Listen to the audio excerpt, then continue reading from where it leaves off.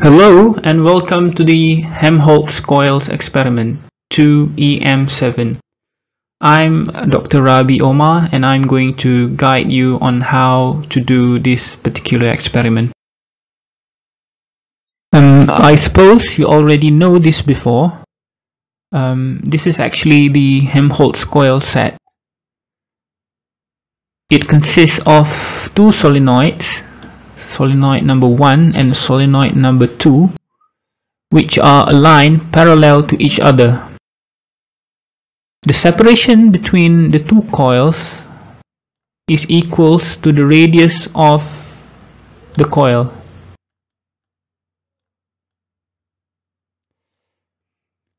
The purpose of inventing the Helmholtz coil is to generate an approximately uniform magnetic field and it can be used by um, it can be used in various applications. For experiment number one, you're going to be dealing with a single coil. So for convenience, I have to remove the second coil from the figure. For a single coil, the magnetic field strength B as a function of x position is given in the slide. It has a Gaussian shape.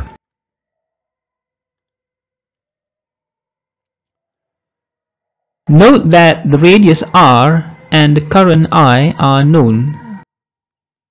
So you yourself, you need to set the value of current and r is given by 10.5 centimeters.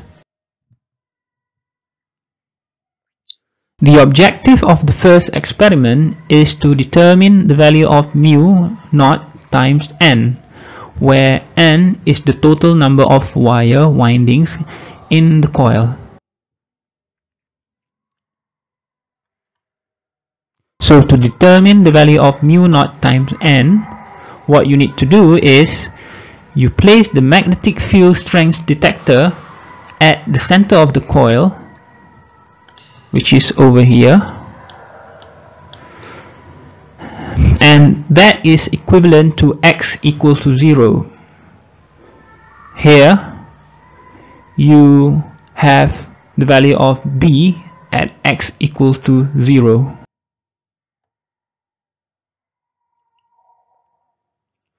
The measured value of mu naught times n can be obtained by using the following relationship.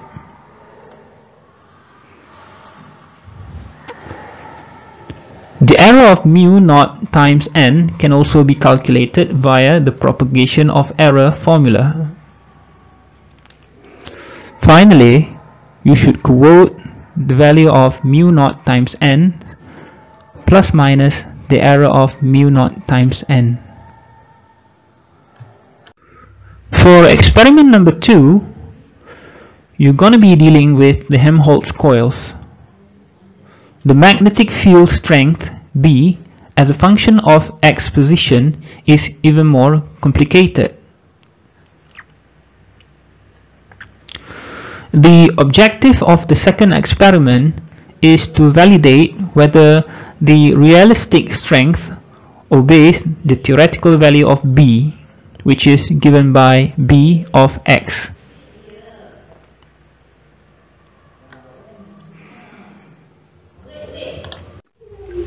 Of course, from experiment number 1, the value of mu naught times n is already calculated.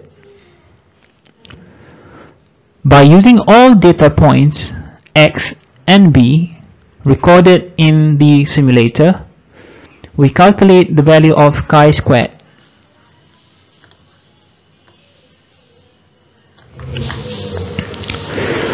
B theory is obtained by using the formula given in the previous slide. Here, the theoretical value of B or B theory for each data point can be calculated by substituting the corresponding value of x into B of x.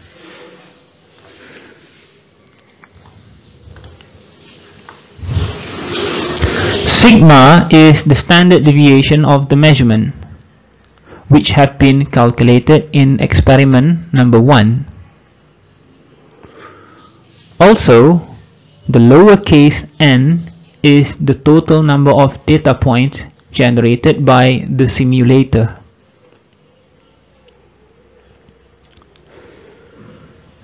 Now, we define chi-squared 1 and chi-squared 2 as the chi-squared cutoff values.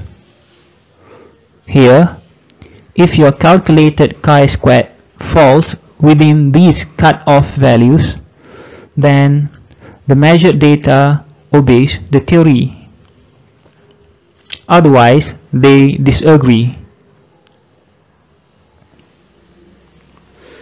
The value of chi-squared 1 and chi-squared 2 can be obtained by using the Excel function. So you just have to type in the following expression in the Excel formula box. And again, the lowercase n in the expression is the total number of data points recorded from the simulator. So that's all from me. So I hope you will be able to do the experiment without any hassle. And good luck